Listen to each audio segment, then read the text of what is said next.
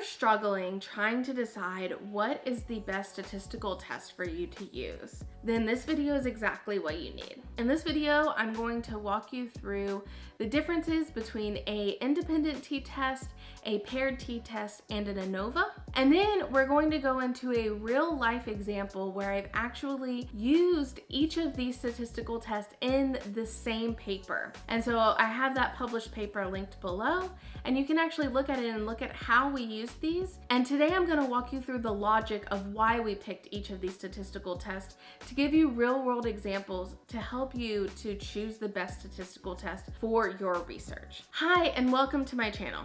If you don't know me, I am Dr. Elena Reister.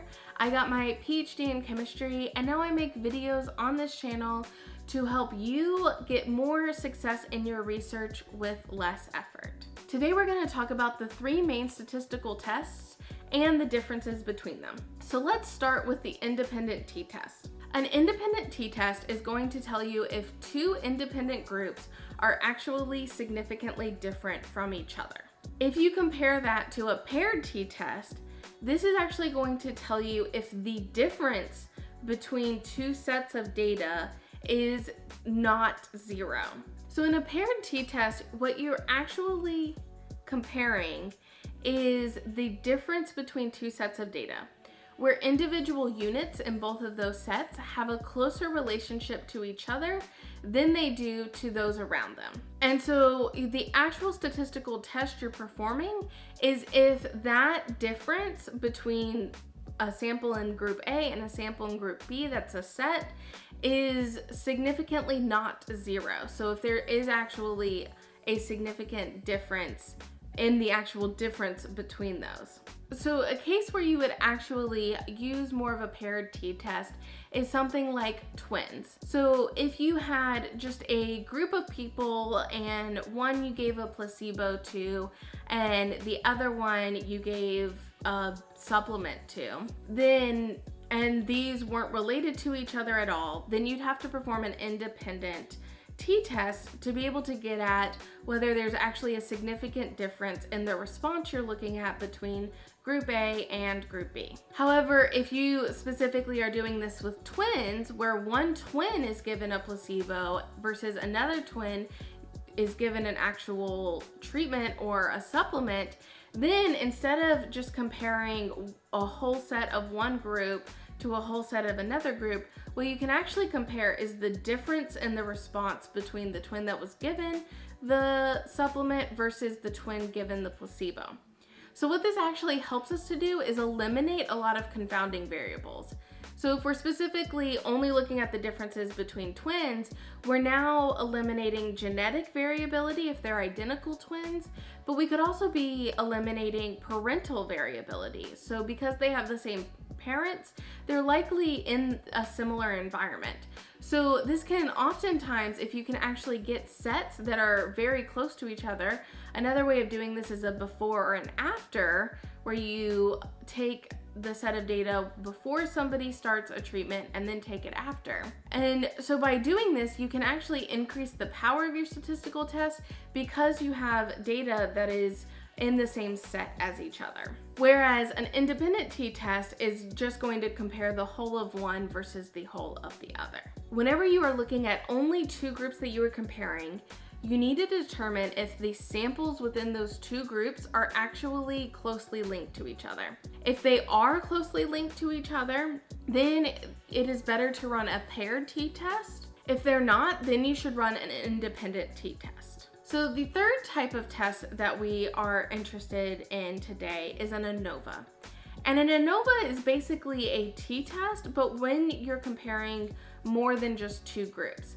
So if you have experimental data that is more than just two groups, you actually need to perform an ANOVA on that data and not just a series of t-tests. Whenever you're setting up your statistical test, you need to know the direct hypothesis that you're testing with that statistical test.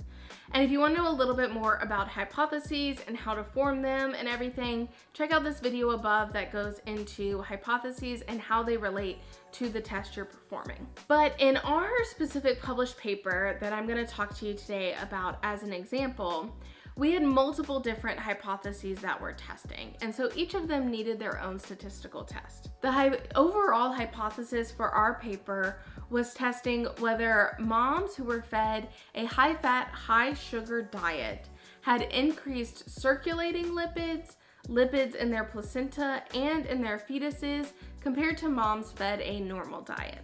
And this is a great hypothesis overall for a project or a paper, but it's really not helpful when actually determining the statistical test that you're using because there's actually a lot of different hypotheses wrapped up into one single hypothesis. So the first part of our hypothesis was determining do moms with a high fat, high sugar diet, also called a Western diet, do they have higher circulating lipids than moms with a normal diet? So in this case, we're gonna go through the logic. How many groups are we testing? Well, we're only testing two groups, the Western diet and the normal diet. And then the second question is, do those two groups, do the samples in those groups have a higher relation to each other? So in our case, our samples were not siblings, they were not consistently anything that, that would tell me that sample A over here has a higher relationship to sample or sample A in the Western diet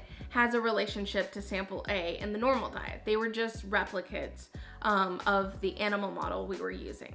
So in that case, because we don't have sets and we only have two groups, we used an independent t-test to tell us if our lipids were higher or not in the blood or circulation of these moms. The second part of what we were testing were lipids within the placenta. So the first thing that we were testing is do the Western diet moms have increased lipids in their placenta than the normal diet moms? This may sound like we still only have two groups, Western diet and normal diet.